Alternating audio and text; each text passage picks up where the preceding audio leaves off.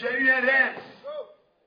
J'ai eu un rêve où la fête de Pâques n'était pas fêtée précisément dans le nord et l'ouest du pays. Je vous dis la vérité parce que des troubles et des gens se déchiraient, des guerres ethniques, parce que des gens refusaient qu'on accepte des personnes qui étaient soupçonnées de n'être pas éligibles pour se présenter aux élections. il y a eu des fraudes et les gens se frappent, les gens se piquent. Et cette chose en train de créer des soulèvements. Je suis en train de voir que la fête de Pâques n'est pas bien fêtée ici en Côte d'Ivoire, en Abidjan.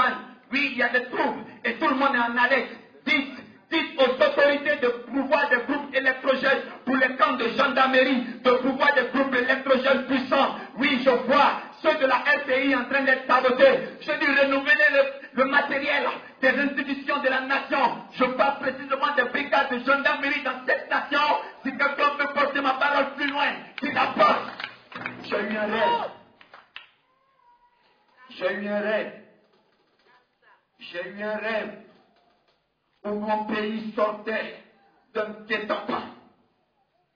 Oh là là, parce que l'Éternel avait sauté les hommes qui étaient à la tête de cette nation d'une ruse extraordinaire, afin de faire sortir ce pays dans le chaos total. Et voilà que tout le monde a commencé à passer au chaos. Tout le monde a pensé que tout était fini. Tout le monde a pensé que le sang allait couler plus grave que la première fois. Et voici une lueur d'espoir s'ouvre. Un communiqué à la télé vient restaurer les cœurs. J'ai eu un rêve où tout le peuple se levait. Et c'était la joie des veillées de prière étaient organisées pour dire merci Jésus, merci Jésus, merci Jésus, merci Jésus. J'ai eu un rêve, j'ai eu un rêve à la vie, j'ai eu un rêve, j'ai eu un rêve, j'ai eu un rêve où mon pays était stabilisé. J'ai vu dans l'équipe nationale de la Côte d'Ivoire des Blancs, précisément des Libanais. J'ai vu dans les clubs ivoiriens des Libanais. J'ai vu des Blancs qui voulaient prendre la nationalité ivoirienne. Je vois la Côte d'Ivoire comme la Sud-Afrique qui est un peuple de, de blancs et de noirs.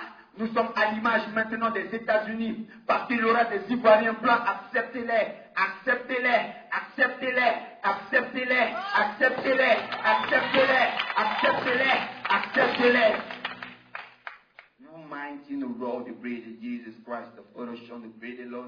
J'ai eu un rêve à la vie, j'ai eu un rêve. J'ai vu l'hégémonie économique ici dans ce pays. Tout le monde avait pensé au chaos, tout le monde avait pensé que tout allait être fini, que c'était fini, que les banques allaient fermer et que les affaires allaient tomber à nouveau. C'est faux. Un moment où tout le monde était désespéré, les prophètes se sont levés, ont commencé à prophétiser et le pays est rentré dans une gloire contradictoire à ce que les gens voyaient à l'horizon et le nuage noir s'est détaché pour laisser paraître un ciel éclairci.